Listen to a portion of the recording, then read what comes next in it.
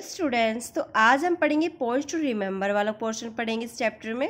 तो देखिए animal nutrition include nutrients nutrients requirement mode of intake of food and its utilisation in the body जो animal होता है, जो उसमें न्यूट्रिशन होता है, वो इंक्लूड क्या करता है? न्यूट्रिशन रिक्वायर्ड करता है ना?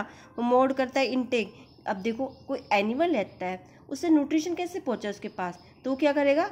उसका साधन क्या है, उसका कोई सोर्स क्या है? फ़ूड है, ठीक है? तो इनटेक फ़ूड मतलब फ़ूड को लेगा और फ़ूड क्या यूटिलाइज कर लिया जाएगा। उसको काम फ़ूड को क्या? यूज़ कर लिया जाएगा उसकी बॉडी द्वारा, ठीक है? तो उसके थ्रू क्या बन जाएगा? न्यूट्रिशन बन जाएगा।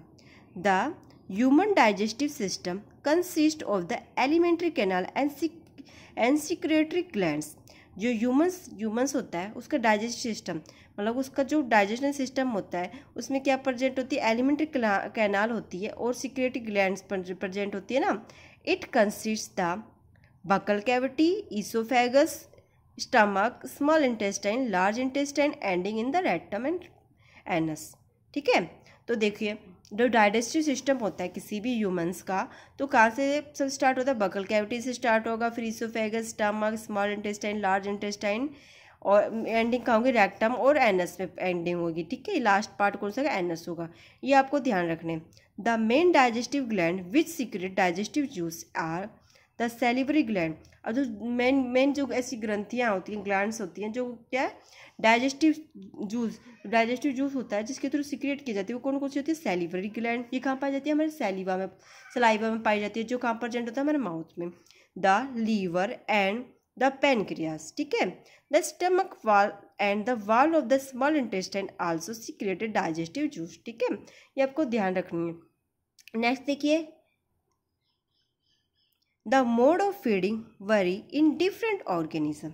जो मोड्स होता है फीडिंग करने का, बहुत अलग अलग होता है अलग अलग जानवरों में। जैसे कि अपनी जो पक्षी होते हैं, अपने जो बोलते हैं बर्ड्स होते हैं, बर्ड्स कैसे फ़ूड फ़ीड करते हैं? उनके पास जो बीक होती है और हमारे पास क्या होता है? हमारे पास माउथ होता है है ना? और जो फ़ीड करने के लिए और किसी के पास, जैसे स्नेक के पास क्या होती है? टंग होती है। तो ये अलग अलग एनिमल्स में फ़ूड के जो मोड होते हैं, फीडिंग करने के अलग अलग होते हैं।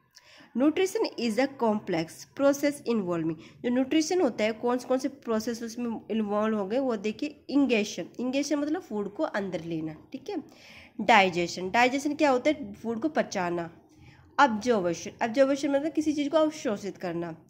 एसलिमिलेशन ठीक है? एसलिमिलेशन एंड इगेशन एसलिमिनेशन मतलब जैसे फ़ूड हमने जो डाइजेस्ट हो गया अब वो क्या है? हमारे हर ऑर्गन तक पहुँच जाना उसका न्यूट्रिशन तो वो क्या प्रोसेस करती है? एसिलिमिनेशन कराती है। और लास्ट प्रोसेस क्या होती है? हमारी इंगेशन मतलब जो हमारा आगे का वेस्ट होता है ना फ़ूड का जो वेस्ट होता है, उसको बाहर निकाल दिया जाना। वो क्या कराता है? Ingestion carbohydrates protein fat vitamin and minerals are initial component of food this components are called nutrition जो कार्बोहाइड्रेट्स होते हैं प्रोटीन्स होते हैं फैट होते हैं विटामिन होते हैं मिनरल्स होते हैं, बहुत आवश्यक कंपोनेंट होते हैं किसी फ़ूड के। These component are called nutrition ठीक है? ये कंपोनेंट्स क्या कहलाते हैं? न्यूट्रिशन कहलाते हैं। Humans and animals are dependent directly और indirectly on plants for food जो इंसान होते हैं और जानवर होते हैं डिपेंड करते हैं डिपेंडेंट होते हैं डायरेक्टली और इनडायरेक्टली किस पर? प्लांट्स पर, फॉर फ़ूड के लिए। ठीक है? Nutrition is the mode of taking food by an organism and it utilisation by the body. जो न्यूट्रिशन होता है, मोड होता है किसका? टेकिंग को फ़ूड मतलब किसी को फ़ूड को लेना किसके थ्रू? ऑर्गेनिज्म के थ्रू और उसको यूटिलाइज कर लेना उसकी बॉडी में। ठीक है? तो वो प्रोसेस क्या होती है? न्यूट्रिशन। ठीक है? ये बार बार आ रहा है आपको, ये अच्छी तरह ध्यान रखना है।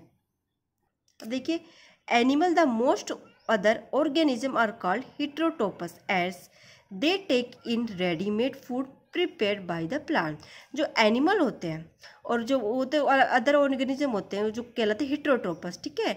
वो क्या कहते हैं? वो लेते हैं रेडीमेड फ़ूड लेते हैं, किस पे? प्रिपेयर करते हैं, जो प्लांट्स प्रिपेयर करते हैं, उसका रेडीमेड फ़ूड फ़ूड लेंगे। तो वो क्या कहलाते हैं? हिट्रोट्रोपस कहलाते हैं। Animals animals nutrition include nutrient requirement mode of intake of food and its utilisation in the body. Animal का जो न्यूट्रिशन होता है इंक्लूड करता है न्यूट्रिशन रिक्वायरमेंट पे। किस पे? उसकी रिक्वायरमेंट कितनी है? उसकी बॉडी क्या चाहती है न्यूट्रिशन के लिए। मोड ऑफ़ इनटेक फ़ूड, कि उसका जो फ़ूड है, वो क्या फ़ूड ले रहा है, जिसके थ्रू वो न्यूट्रिशन उसको मिलेगा, ठीक है?